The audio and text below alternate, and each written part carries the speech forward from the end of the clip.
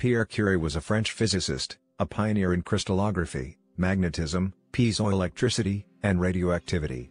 In 1903, he received the Nobel Prize in Physics with his wife, Marie Curie.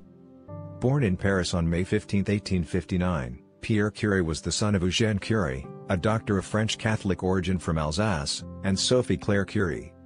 He was educated by his father and in his early teens showed a strong aptitude for mathematics and geometry. By the age of 18, he earned his license, the equivalent of a U.S. master's degree, in physical sciences from the Faculty of Sciences at the Sorbonne, also known as the University of Paris. He did not proceed immediately to a doctorate due to lack of money. Instead, he worked as a laboratory instructor. When Pierre Curie was preparing for his Bachelor of Science degree, he worked in the laboratory of Jean-Gustave Bourbouze in the Faculty of Science.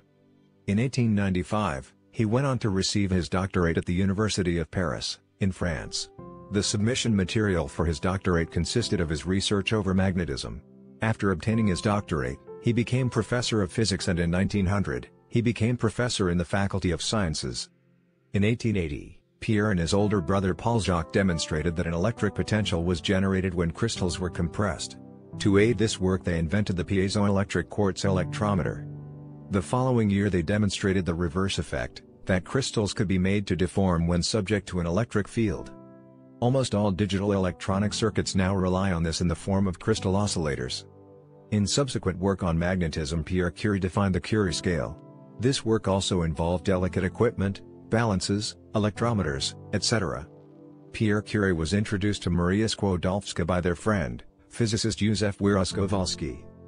Curie took her into his laboratory as his student. His admiration for her grew when he realized that she would not inhibit his research. He began to regard Skłodowska as his muse. She refused his initial pr proposal, but finally agreed to marry him on July 26, 1895. The Curies had a happy, affectionate marriage and they were known for their devotion to each other.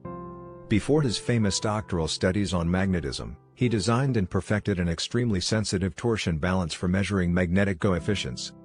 Variations on this equipment were commonly used by future workers in that area.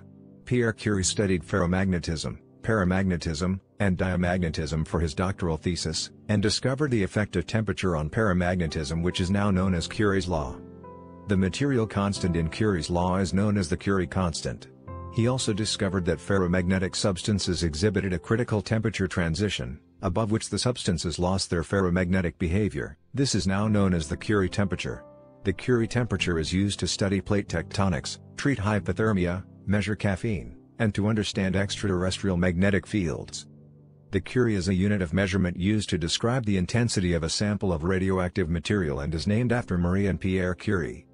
Pierre Curie formulated what is now known as the Curie dissymmetry principle, a physical effect cannot have a dissymmetry absent from its sufficient cause. For example, a random mixture of sand in zero gravity has no dissymmetry. Introduce a gravitational field, and there is a dissymmetry because of the direction of the field. Then the sand grains can self-sort with the density increasing with depth. But this new arrangement, with a directional arrangement of sand grains, actually reflects the dissymmetry of the gravitational field that causes the separation. Curie worked with his wife in isolating polonium and radium. They were the first to use the term radioactivity, and were pioneers in its study. Their work, including Marie Curie's celebrated doctoral work, made use of a sensitive piezoelectric electrometer constructed by Pierre and his brother Jacques Curie. Pierre Curie's 1898 publication with his wife and M. G. Bémont for their discovery of radium and polonium was honored by a citation for Chemical Breakthrough Award from the Division of History of Chemistry of the American Chemical Society presented to the ISPC Paris Tech in 2015. In 1903, to honor the Curie's work, the Royal Society of London invited Pierre to present their research. Marie Curie was not permitted to give the lecture so Lord Kelvin sat beside her while Pierre spoke on their research. After this, Lord Kelvin held a luncheon for Pierre. While in London, Pierre and Marie were awarded the Davy Medal of the Royal Society of London. In the same year, Pierre and Marie Curie, as well as Henri Becquerel, were awarded a Nobel Prize in Physics for their research of radioactivity. Curie and one of his students, Albert Laborde, made the first discovery of nuclear energy, by identifying the continuous emission of heat from radium particles. Curie also investigated the radiation emissions of radioactive substances, and through the use of magnetic fields was able to show that some of the emissions were positively charged, some were negative and some were neutral. These correspond to alpha, beta and gamma radiation.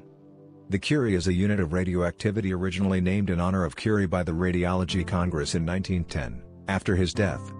Subsequently, there has been some controversy over whether the naming was in honor of Pierre, Marie, or both. In the late 19th century, Pierre Curie was investigating the mysteries of ordinary magnetism when he became aware of the spiritualist experiments of other European scientists, such as Charles Richet and Camille Flammarion. Pierre Curie initially thought the systematic investigation into the paranormal could help with some unanswered questions about magnetism.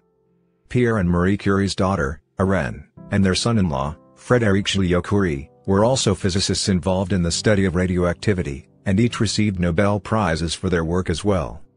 The Curie's other daughter, Eve, wrote a noted biography of her mother. She was the only member of the Curie family to not become a physicist. Eve married Henry Richardson Labouisse Jr., who received the Nobel Peace Prize on behalf of UNICEF in 1965.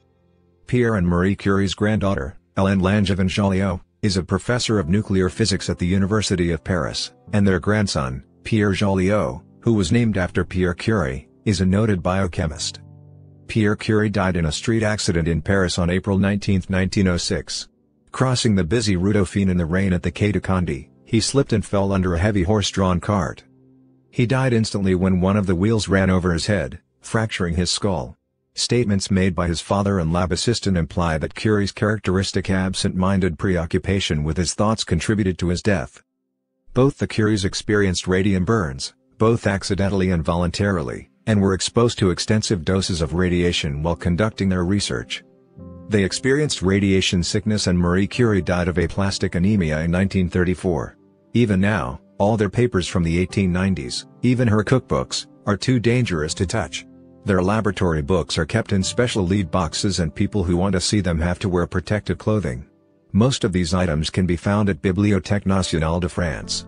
Had Pierre Curie not been killed as he was, it is likely that he would have eventually died of the effects of radiation, as did his wife, their daughter Ren, and her husband Frédéric Joliot. In April 1995, Pierre and Marie Curie were moved from their original resting place, a family cemetery, and enshrined in the crypt of the Panthéon in Paris.